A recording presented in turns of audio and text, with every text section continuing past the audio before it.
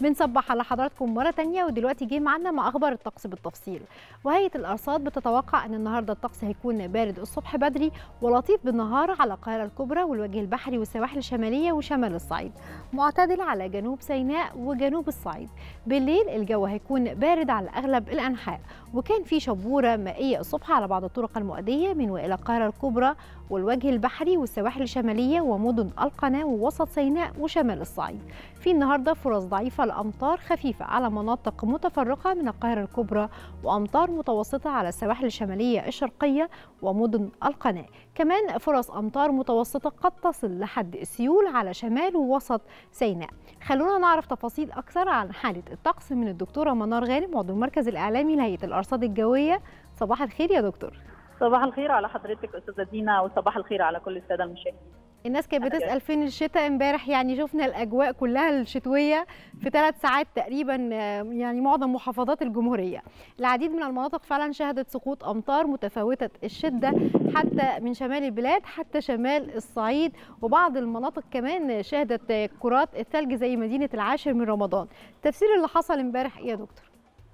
بالفعل إحنا بالامس شهدنا ذروه حاله عدم استقرار في الاحوال الجوية وكان ده بسبب تأثير منخفض جوي متعمق في طبقات الجو العليا وأيضا منخفض سطحي على البحر المتوسط. وجود المنخفضين عملوا على حالة عدم الاستقرار مع حركة المنخفض الجوي من جهة الغرب إلى جهة الشرق. شهدنا خلال فترة المساء تحديدا وساعات الليل ذروة حالة عدم الاستقرار في الأحوال الجوية. كان في طبعا أمطار متفاوتة الشدة ورعدية وتساقط كمان معها حبات البرد أو الكرات الثلجية وده بسبب تطور السحب إلى سحب رعدية وفرق درجات الحرارة الكبير بين طبقات الجو العليا وأيضا سطح الأرض اللي بيوصل لأكثر من 40 تحت الصفر فبالتالي بتتطور السحب بشكل كبير وتتساقط معها حبات البرد. والأمطار شملت أغلب محافظات الجمهورية حتى محافظات شمال الصعيد وبعض المناطق كمان من جنوب الصعيد. اليوم المنخفض الجوي تأثيره أكثر هيكون في الجهة الشرقية على المناطق الشرقية فكميات الأمطار اليوم هتكون أقل من اللي شاهدناها بالأمس لكن هتكون أمطار متوسطة على السواحل الشمالية الشرقية وشمال ووسط سيناء ونتيجة طبعا الطبيعة الجغرافية في شمال ووسط سيناء ممكن تتشكل بعض السيول الخفيفة في المناطق دي. أمطار ما بين يعني الخفيفه إلى المتوسطة على بعض المناطق من السواحل الغربية محافظات الوجه البحري بعض المناطق من جنوب سيناء قد تصل الأمطار خفيفة كمان اليوم لبعض المناطق من القاهرة الكبرى وشمال الصعيد. والأمطار طبعا بتكون على فترات متقطعة بتختلف من منطقة لمنطقة.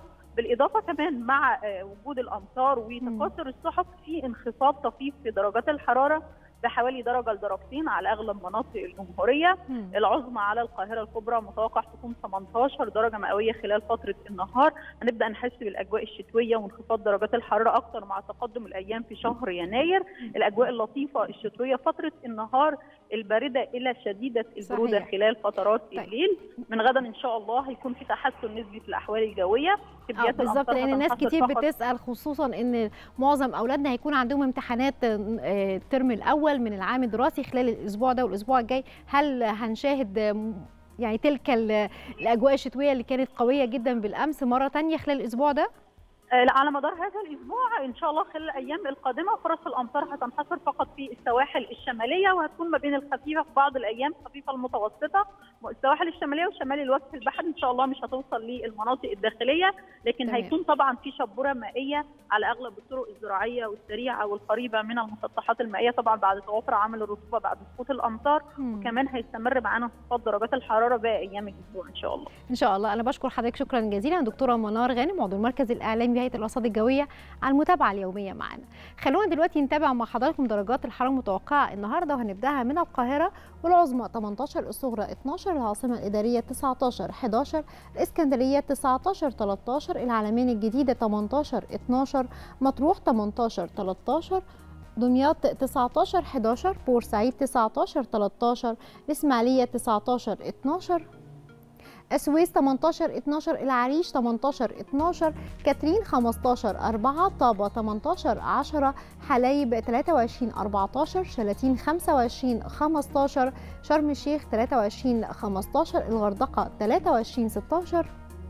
الفيوم 20 10 بني سويف 20 8 الوادي الجديد 20 9 أسيوط 20 8 سوهاج 20 8 قنا 21 9 الأقصر 21 8 وأخيرا أسوان 22 10 حاولنا نطمن حضراتكم عن حالة الطقس لكن يجب توخي الحذر أثناء القيادة في الأمطار وكمان نخلي بالنا أن الجو هيكون بارد جدا في الساعات المتأخرة من الليل والساعات الأولى من الصباح الباكر.